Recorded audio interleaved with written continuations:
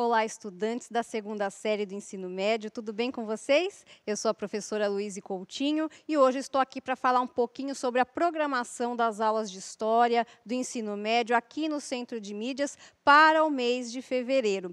Mas antes, um aviso importante para vocês. As nossas aulas do Centro de Mídias, em 2021, terá um tempo menor, vai reduzir de 40 para 27 minutos. Isso para a gente poder auxiliar os professores e também vocês, estudantes, nessa parceria do ensino híbrido, intercalando as nossas aulas aqui no Centro de Mídias com as atividades que vocês vão desenvolver aí no ensino presencial.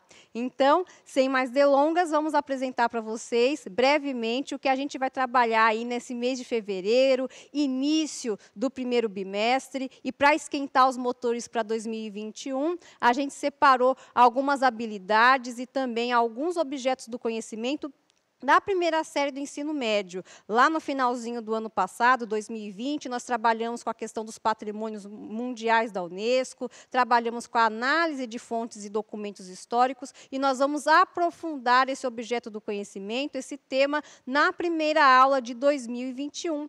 E ainda em atividades e aulas de retomada, nós vamos revisitar o tema do renascimento comercial e urbano, ali na esteira das cruzadas, ali na baixa Idade Média, para que depois a gente possa iniciar aí com o assunto dos outros renascimentos, o renascimento cultural e a questão da formação das monarquias nacionais aí para vocês, certo?